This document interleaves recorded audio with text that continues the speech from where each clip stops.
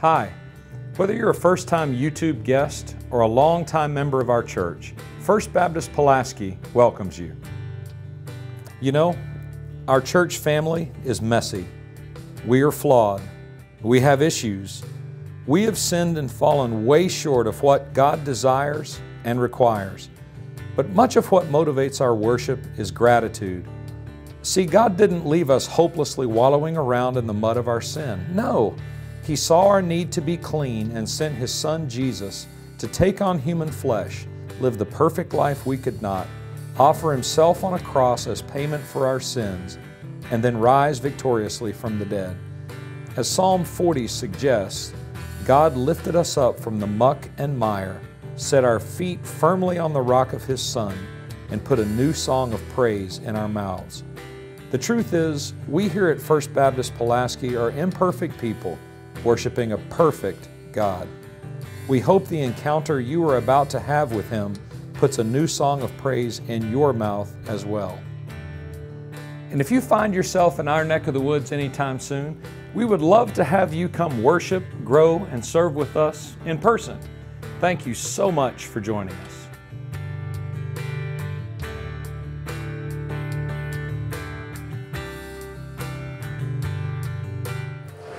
Good morning, kids. I was going to bring you all up in the baptistry with me this morning, but there's just not enough room. So if you guys will pay attention real fast, I have something for you. This morning, we are going to see Miss Angelina get baptized, one of your friends, Miss Angelina Johnston, and we're excited about that. Uh, but I wanted to let you know what we're doing in Children's Church this morning. We are excited about what God's doing in our kids' ministry. And this morning, we're going to be talking about something pretty special uh, that Miss Angelina is going to get to experience today. Uh, but we're going to be talking about baptism. Now, some of you have already been baptized, and that's awesome. You know what it means to be baptized and what it symbolizes. But today we're going to be talking about the, our Heavenly Father and how He loved His Son so much. The Bible tells us that He is His beloved Son in whom He is well pleased. And today we are going to talk about how we can be pleasing not only to our Heavenly Father uh, through baptism and through being saved and through those kinds of things, but also to our earthly parents. It's a good thing to be uh, to look good in their eyes and to be to do well in their eyes and uh, to be a good kid, right? And that's what we want to be. We want to be not only pleasing to our parents, but we want to be also pleasing to the Lord. And if we do those things, then I believe that, like Jesus said, like God said to His Son, uh, you would be the beloved son or daughter in whom they are well pleased. And so we're excited about what God's going to do today. If you guys will sit still for just a moment, we're going to baptize this morning, and you pay attention uh, this morning, all right? This morning we're going to baptize Miss Angelina Johnston, and she's going to come on down.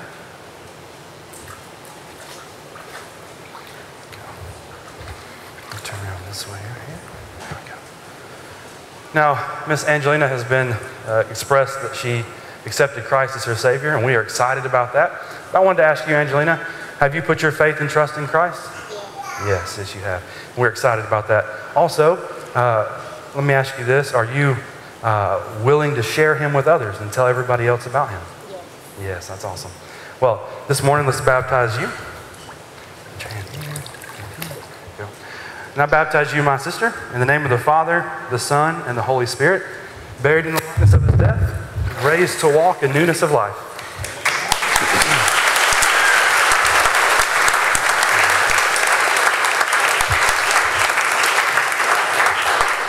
The church, this is what we talk about every week and when we have a baptism, and we are excited about taking the next step with people. And my question to you is this is are you willing to walk with Angelina through this process of discipleship and to mentor her and to come alongside of her? If you are, would you say amen this morning? Amen. amen. Let's pray and we'll get moving along with our service as we worship the Lord. Lord, we thank you for this day. we thank you for all you've done for us. We thank you for how amazing you are, God, that you would shed your precious blood for us and that we could take uh, the next steps in following you. And I pray that this service would be magnifying in your eyes, and God, that we would lift you up and we would worship you, not only in song, but Lord, as we sit through the service this morning, Lord, let's be in a prayerful heart for those around us, Lord, those who are lost as well. I pray that they would come to know you before it's too late. Lord, we love you. We thank you for all you do for us. In Jesus' name, amen.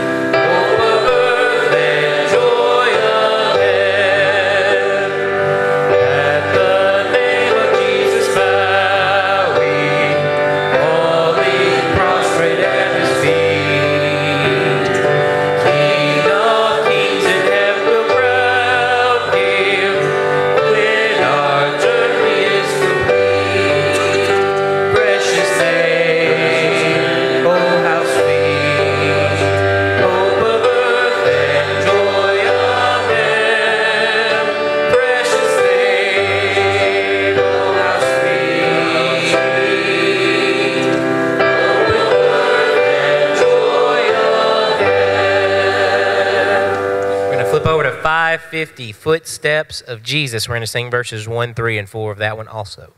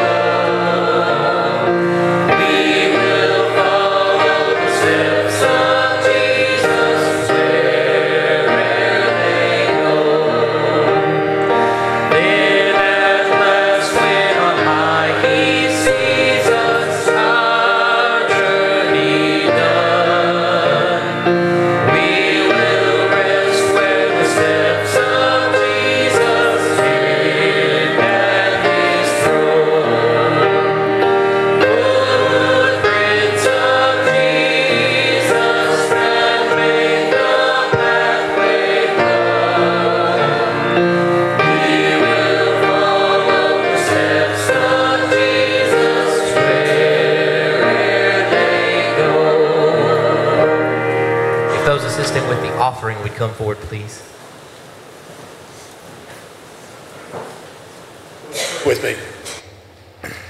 Father, today we come in, in hopes of worshiping you. Father, we know your Holy Spirit is here. You've promised where two or three are gathered in your name, you'll be with us.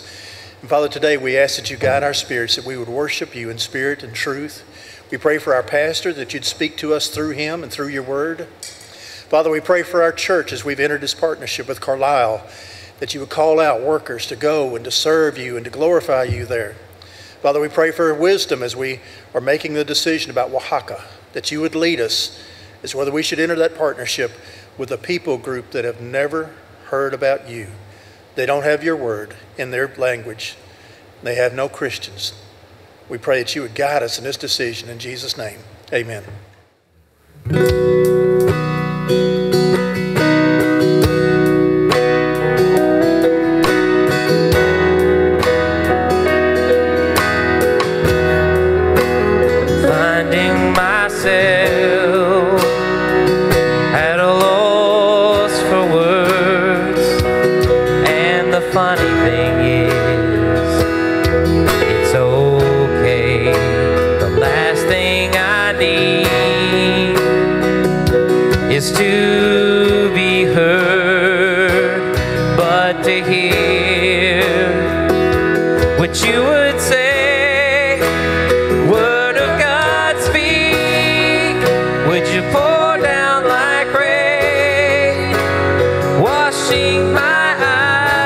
See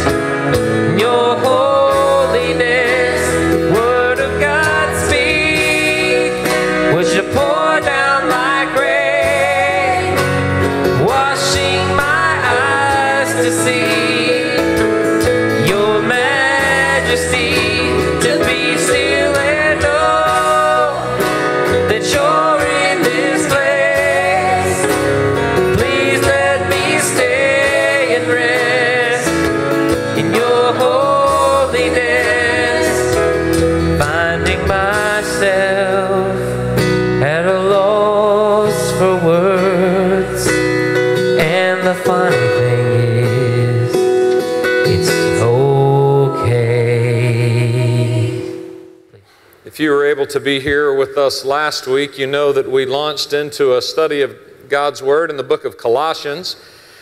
And uh, after the service, Brother Aaron uh, kind of bumped into me in the hallway and he said, I was so excited that you were starting a series in Colossians. And then he kind of paused and he said, But I was a little surprised you landed it in that first section. Um, and what he's saying, sort of gently, is that's a rough section to preach. And uh, it's also, I know, a rough section to listen to uh, at times. That, that is not a passage, the first eight verses of Colossians chapter 1. It's not a, it's not a passage that just flows really well, uh, humanly speaking. But there's a, there's a phrase in Latin about worship. Uh, it's called lex orandi, lex credendi. It basically means as we pray or as we worship, so we learn. And here's the lesson. One of the lessons, if we took nothing else from last week during our time in God's Word, is this. We would be wiser not to come to God's Word with a personal agenda. We would be wiser not to assume that there is nothing in a given passage. That's not what Brother Aaron was saying. That's not what I'm saying about the first eight verses of Colossians 1. Um, we are learning as a church family, even by going through a difficult passage like that, that God has spoken. All of His words captured in what we call the Bible in our language are truth. Your Sunday school teachers, your pastors, in this church, we believe that all of God's Word is inspired and is useful for teaching and rebuking and correcting and training in righteousness.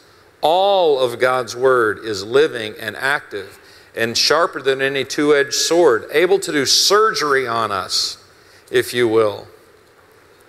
And how many times do we, as God's people, in our average week, A, pick up the Bible, uh, but B, when we pick it up, we have an agenda. I'm going to start in the back of my Bible and look for its subject and then find something that addresses my felt need. Now, there's nothing wrong with that because God speaks to us at our time of need. He wants us to dig into those areas. But if all we ever do is come to the Bible to speak and not be spoken to, we're missing it.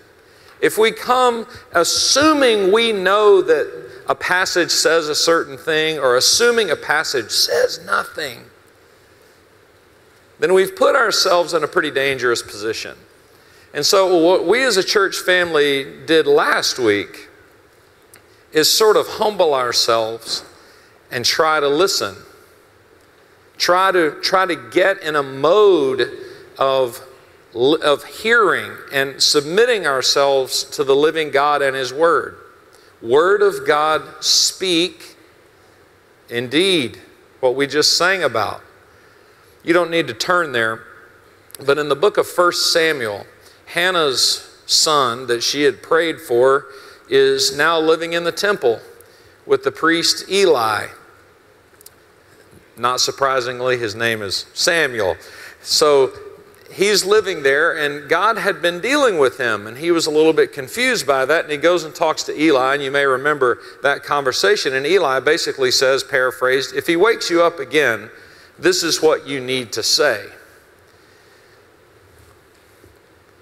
And when the Lord came and stood there and called as before Samuel, Samuel, Samuel responded, Speak, for your servant is listening.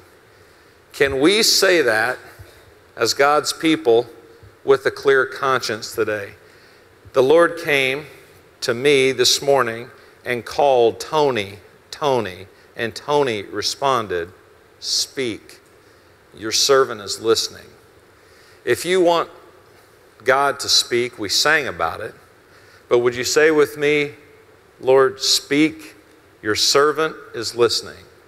Speak, your servant is listening. Colossians chapter 1, verses 9 to 14. That's page 760 in those short Pew Bibles there, and 1083 in the taller ones. For this reason, all those things we covered last week, since the day we heard this, we haven't stopped praying for you.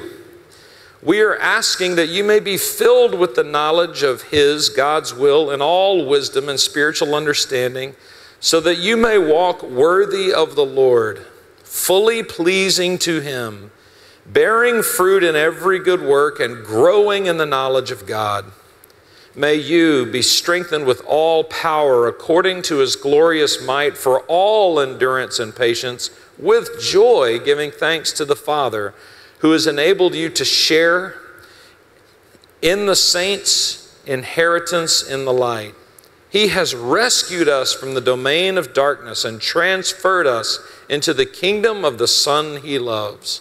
We have redemption, the forgiveness of sins in him. There's a lot packed in there. The first question right out of the gate we could ask ourselves this morning is who is being addressed here besides the church at Colossae? What group of people generally is being discussed or addressed here? If you look back up in verse 4, we have heard of your faith in Christ Jesus. If you look at the second part of verse 6 that we talked about last week, the gospel has come to you, it is bearing fruit and growing all over the world, just as it has among you since the day you heard it and recognized God's grace in that truth. Verse 13 from today's passage He has rescued us from the domain of darkness and transferred us into the kingdom of the Son He loves. Verse 14 We have redemption, the forgiveness of sins in Him. So, who is being addressed here? Christians, followers of Jesus, believers, the redeemed are being addressed here. So, as those verses kind of washed over you just now, because of your faith in Christ Jesus, because of this good news that you accepted, because you have been transferred from one kingdom to another. Did something in your heart just swell? Did something in your heart just kind of warm and stretch and get excited at the thought of being God's child? Are you redeemed? When the choir was singing Psalm 63, my gracious, is the Lord worthy of that worship? Is he worthy of our praise? Is he holy and majestic and good? Does, as they were singing, is, is, something in your, in your soul just resonate? Brother Bill prayed about worshiping in spirit and truth. Did something of that connect with you and the living God by his spirit say, Daughter, you are mine. Son, you are mine. His Spirit bearing witness with ours that we are His children. Are you redeemed? Do you know that you're His child? If you don't, He wants you to. He wants you to have that assurance. He wants you to be able to have that sense of strength and purpose and, and some other things that we'll talk about today. He's addressing the redeemed, he's addressing here believers. And the first, the first big question of the day is Are you? And if, like Angelina, you will turn to Him in faith, confessing your sin and say, I need, I need your soul washing. That doesn't happen in the baptistry, of course. That's an outward sign of an inward change in faith. But it's a great picture for us. I want this for my soul, my spirit. Will you turn in faith and receive Christ and be identified with Him and then resurrected in Him? Are you redeemed? Then, if you are, what does that say about what you have? as a daughter or son of the king, as one of the redeemed, as a Christian. Verse 12.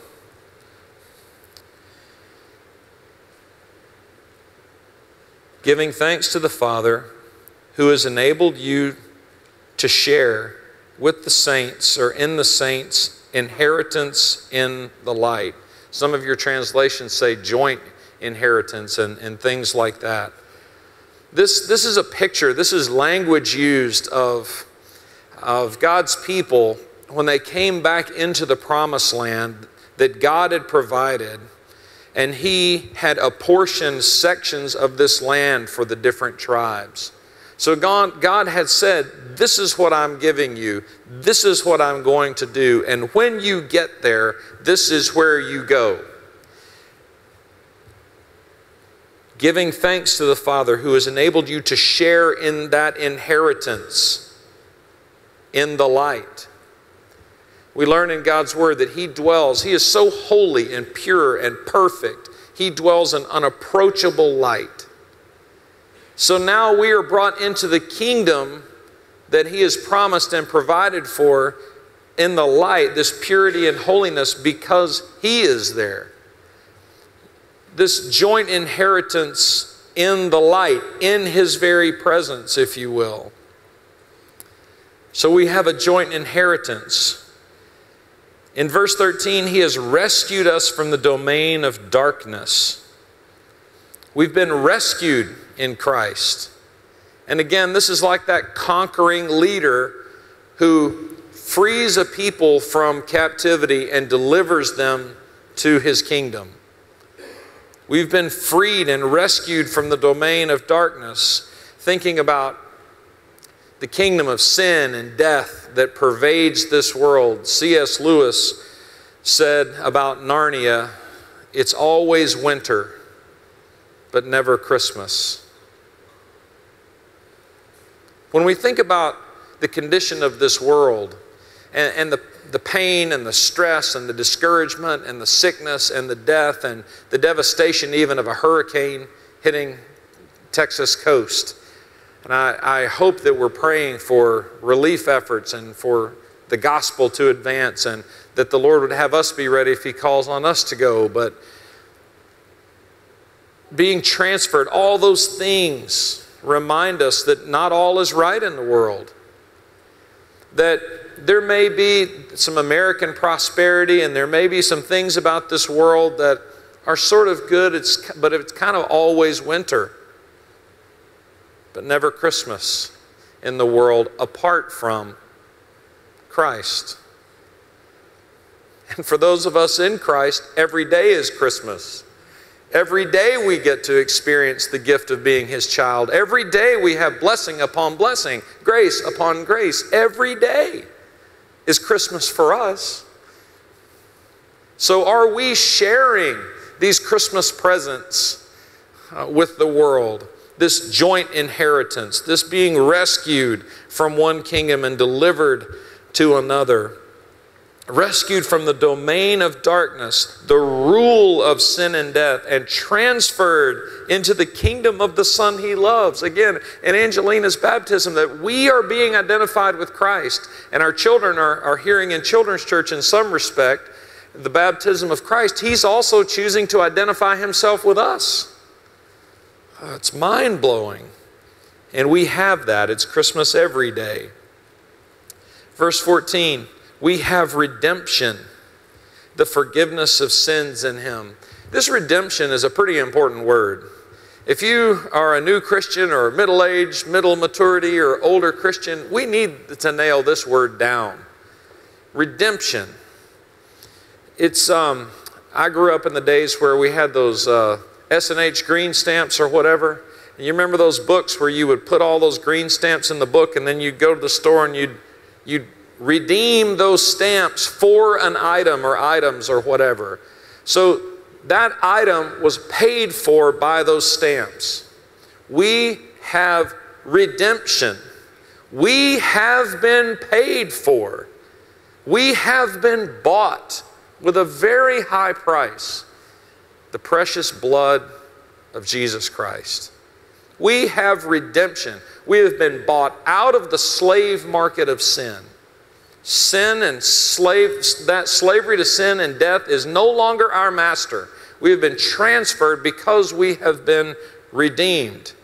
Redeemed, how I love to proclaim it, redeemed by the blood of the Lamb. Redeemed, redeemed, redeemed. I've been bought with a price. And what does that tell you about your worth to God? That He would send and sacrifice His Son for you. You're precious to Him, as are our friends and family and neighbors who need to know about Him.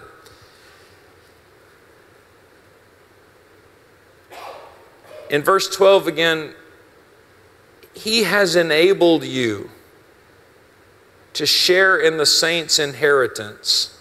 Notice it's God who did all the work. he has enabled you. I think a, more modern translation of this also has the word qualified you. He has qualified you because of his son and that relationship. He, he has enabled you. All of these things are his doing. It's his gift, it's his grace. Probably the most beloved song in Christianity is Amazing Grace. And over and over and over in that song, it's God gives something we don't deserve. He's giving, He's giving, He's giving, He's giving. Amazing grace, how sweet the sound that saved a wretch like me. I once was lost, but now I'm found, was blind, but now I see. It's grace. It's a work of God. It's something He did. He sent, He made the plan. He sent His Son. He declared His love. He moved by His Spirit. He drew us to His Son. You know, He energized us, even in our faith as we believe. He has enabled us or qualified us. One of the cool things about having some modern resources or having studied some of these things, I know some of your Bibles are study Bibles and they annotate these things, or some of us who have had the privilege of going to seminary and learning. Um, this, particular, this particular verb here is in a tense that, that helps us understand that this is a completed action. This is something that's already done. This is something that it says, He has qualified you. Period.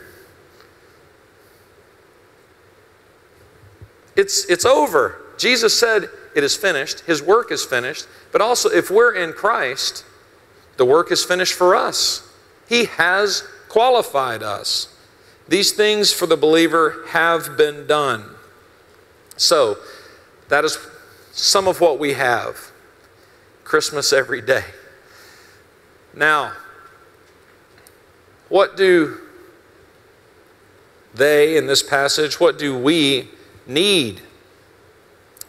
One of the more interesting uh, sports in the world to me, and actually, if I could be confessional about it, and I'm not trying to offend any of you who do this sport, but in my family, particularly with my youngest daughter, we do this sometimes. We will be out somewhere talking or whatever and need to go somewhere and we'll just start doing this. Any of you, any of you do this sport? You know what I'm talking about? Power walking or speed walking or whatever it's called. We do it because it's fun to sort of poke fun at each other. It's not, it's not like we're running, we're, we're giving that away, but we're in a big, big kind of hurry. It seems to me that speed walking or power walking or race walking or whatever you want to call it is a little bit indicative or illustrative of the Christian life. And I give you, I give you three quick reasons. One is when the world looks at us as Christians, they think we look pretty silly. Part of the reason that my youngest daughter and I do it is because we look goofy doing it, and it's just kind of fun. The world looks at us and thinks we're crazy. Do you know that? They think, they think okay, you, you believe that a spirit being who exists as three in one gave you a book over thousands of years that talks about a guy who became a man and even though he was God, got killed. You say he rose from the dead, but they never found his body, and on and on and on. And you get together and you sing these songs, and it's kumbaya and whatever. They think we're crazy. They think we're weird. And to some degree, maybe they're right. We are a little weird. Weird means different. We're different than the world. We should be weird to them. But that doesn't mean we're wrong. And some of us gathered yesterday to celebrate Emily Perez's life. And God uses the, the things that the world, the people that the world cast aside, to powerfully declare the truth of who He is. And that's who we're supposed to be as His children. But they look at us like we're weird. Uh, I did not know this. Uh, there are two basic rules for power walking. One of those rules is that your back toe cannot leave the ground until your front heel hits the ground. There has to be something in contact with the ground at all times. The other rule is you cannot, you cannot unstraighten your leg until your hips go past your leg, your back leg. So, so when you step, that leg has to be straight. That's why they look funny when they do it, or when Bethany and I try to imitate them. Um, we look kind of funny. Um, to race well or compete well, you need to know the rules. And that's another similarity between us as Christians and speed walking or, or race walking. Look at verse 9. Since the day we heard about your faith, we haven't stopped praying for you. We are asking that you may be filled with the knowledge of His will, that you can live your life according to His plan, according to His rules, according to His design to compete well, to run well, to finish our race, to run the course that God has laid out, to speed walk the course that God has laid out for us. We need to know what is pleasing to Him, to be filled with the knowledge of His will, with wisdom and understanding.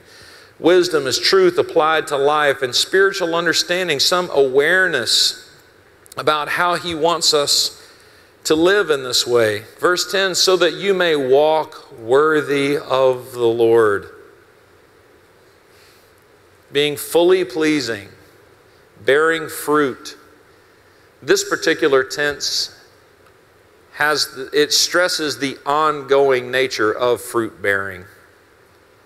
So it's saying, live in a way according to his rules, according to his design, that the pattern of your life, and by the way, walking in the New Testament. That's why we say, How's your Christian walk? Because it was their manner of life.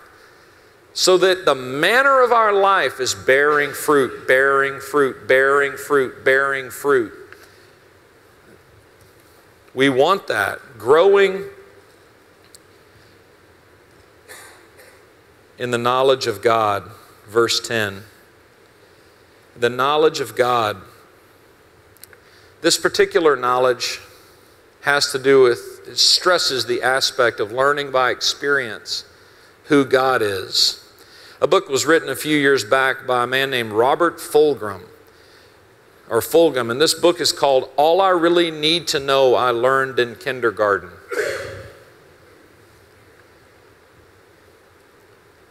It's a bit of an indictment on 21st century Christianity. I hope not on our church. It's a bit of an indictment on us that we sort of have that view about Christianity that all I ever need to know I learned in kindergarten. Yes, I know that Jesus became a man. Yes, I know that he died for sins. Yes, I know that through faith in him I can be saved. I'm good. I'm going to take my dedication Bible and I'm going to put it on my shelf, and because I know I'm good, I, am just, I'll, I'm going to hunt and fish and, you know, live, party like rock stars or whatever it is. And when I have a big time need, i I'll, I'll know where the Bible is. I'll go back to it. I know all I need to know. God and I have our time out in nature or whatever, and that's it. That's where we stop. It's almost like all we need to know was in kindergarten.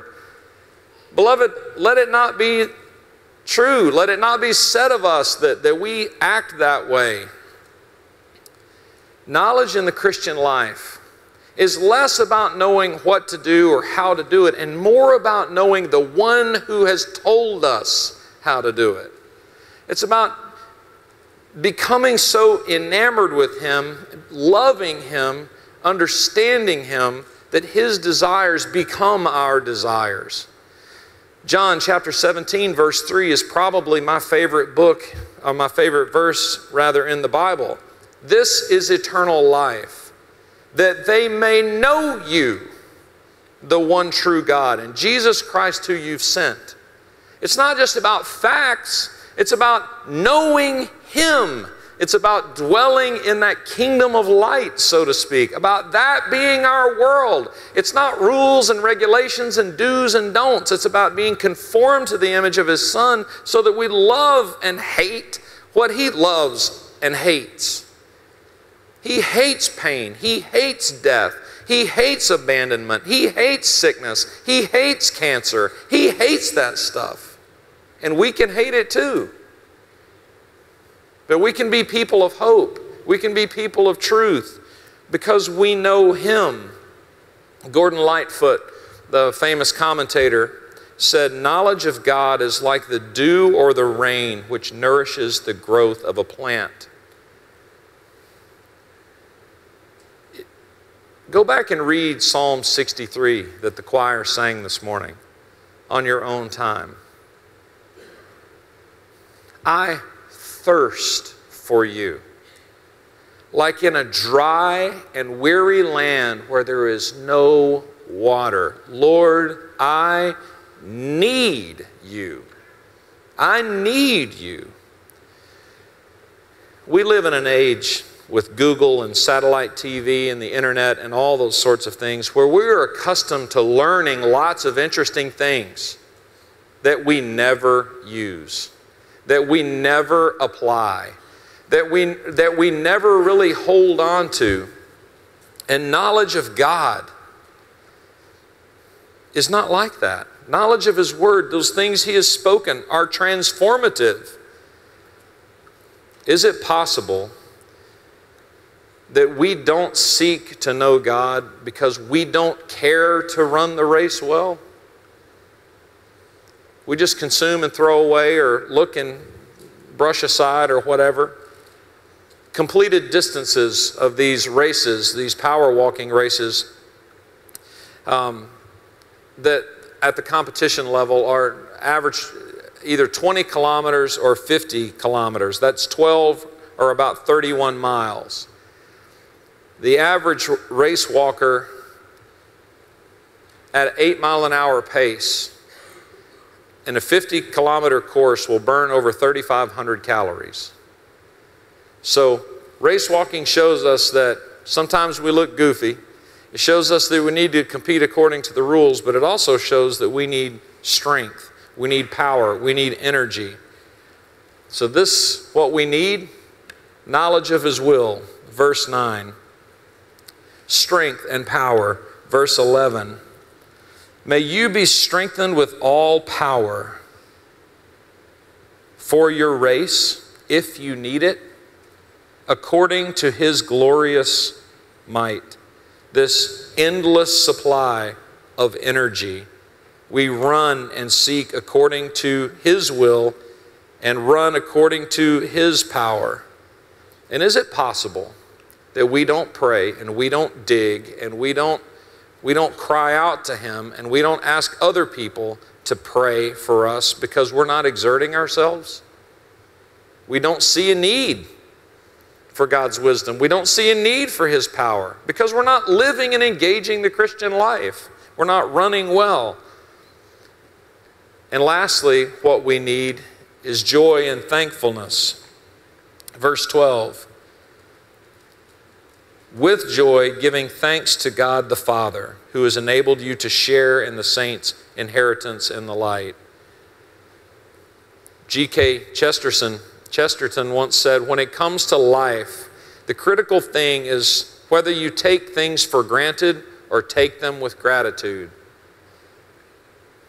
Helen Keller, the speaker and author who was born blind and deaf, once said that in her relationship with God, think about this, a blind and deaf woman, in her relationship with God, she found that if she focused on all He had given her, all the blessings that were her, she did not have time to think about what He had withheld from her. But how often is it the case for us that we think about what we perceive that He's withheld? and miss the blessings that He's given grace upon grace upon grace. Are we walking in a way, in the manner of our lives, that require God's power, that require His strength for endurance? Do we have our hand to the plow, plowing hard? Are we trying to honor Him with our lives?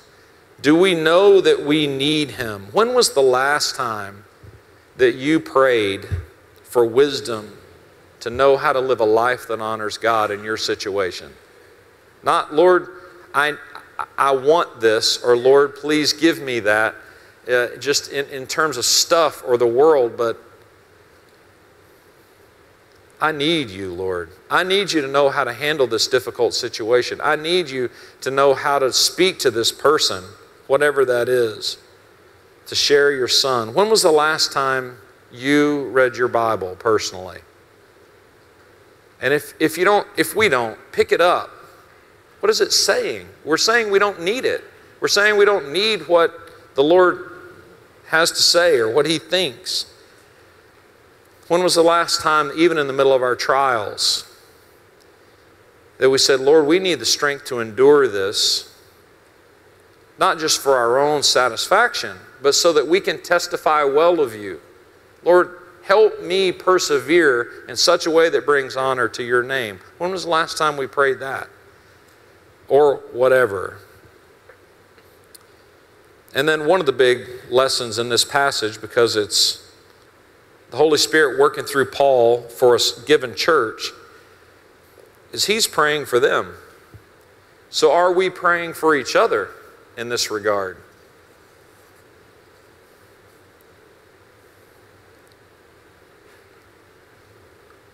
Beloved, redeemed people, we need God's power to walk worthily. We need His help to live a God honoring, Christ honoring life.